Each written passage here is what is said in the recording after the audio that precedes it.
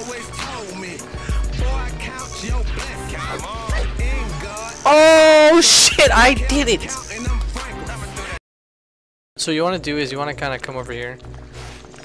Target as you're jumping. Side roll, side hop, back flip. Just get into this back left area of the, the piece. Okay, well you can see. Yeah, you don't have to. You just have to mega flip basically. However you can do it. And you get here onto this platform. And there you go. That's the B1 skip for Master Quest that I found, other than doing the one where you just jump over here. Just a fun little project.